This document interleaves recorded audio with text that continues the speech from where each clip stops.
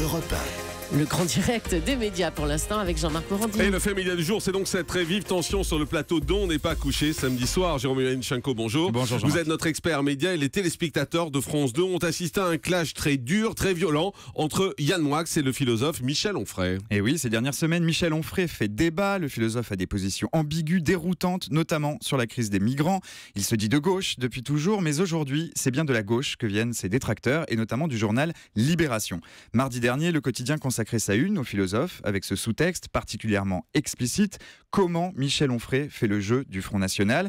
Une attaque haineuse, selon le philosophe, qui s'est donc retrouvé sur le plateau dont n'est pas couché samedi pour répondre à ses détracteurs. Et parmi eux, le polémiste de l'émission Yann Moix. Les deux hommes se connaissent depuis longtemps. Ils fréquentent tous deux le milieu littéraire de Saint-Germain-des-Prés. Ils partagent le même éditeur, la maison Grasset. Ils partagent aussi le goût du commentaire. Ils ont un avis sur tout et ils ne rechignent jamais à l'exprimer. Un point qui agace particulièrement Yann Moix qui lance la première pique contre son interlocuteur. Vous imaginez que parce que vous intervenez sans cesse, vous pensez tout le temps. Et c'est ce que je vous reproche. J'essaye de vous lire, et moi qui admirais vos premiers ouvrages, depuis quelques années, je vous perds. Et je ne suis pas Laurent Geoffrin, et je ne pense pas que vous soyez un, un penseur d'extrême droite, et jamais je n'imagine que vous faites le jeu du Front National. Je vous classe dans quelqu'un qui essaye d'envahir tout l'espace par une pensée qui bien souvent relève de la pensée de bistrot. Je n'arrive plus à stabiliser des phrases de vous comme je le faisais il y a 10 ou 15 ans où je me disais qu'est-ce qu'il est brillant.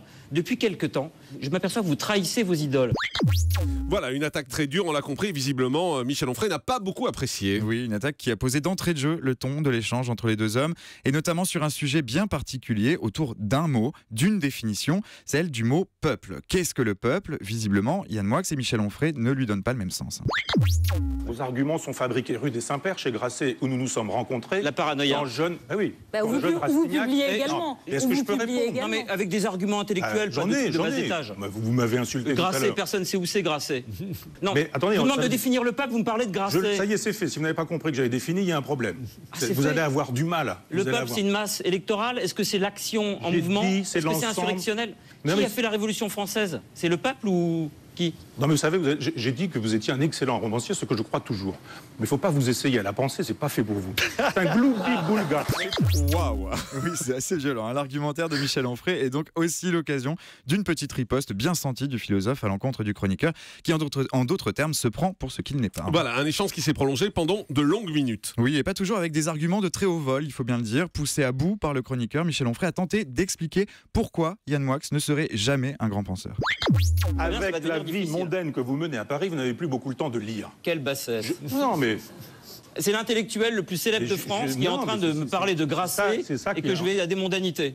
Quand on parle de migrants, vous répondez peuple. Donc moi, je voulais savoir ce que vous entendiez par peuple, parce que c'est votre peuple. Mirabeau disait que le peuple, ça voulait rien dire. ne prenez- C'est trop ou pas assez. Non. Et les mondani- mondanités par rapport à des enfants qui meurent en Méditerranée, mais vous c'est intéressant. Mais qui vous a parlé de ces Et vous êtes un intellectuel à me parler de Grasset et de mondanité alors que je pensais que le débat allait être élevé. Bah. Parce que vous êtes incapable de définir un mot, vous m'attaquez. C'est indigne de vous, vous me décevez encore plus, vous me décevez au carré. je dis simplement que le peuple, c'est ceux, ceux CUX sur lesquels s'exerce le pouvoir et qui n'ont jamais la possibilité d'exercer du pouvoir. Moi, je peux faire du Yann Moix et tenir une demi-heure en enfumant tout le monde. Je vous dis, c'est ça ma définition. Alors pour le philosophe, hein, Yann Moix enfume tout le monde, il bluffe, il n'est pas pertinent, en tout cas pas sur le fauteuil de polémiste de l'émission des samedis soirs de France 2. Un fauteuil qui, à en croire, le principal intéressé, lui a été proposé par Laurent Ruquier. Le peuple, c'est ce sur quoi s'exerce le pouvoir. C'est-à-dire, c'est pas vous. Parce que vous, vous l'exercez, le pouvoir. La place que vous avez, me l'a proposé, j'ai refusé. C'est vrai, c'est la vérité.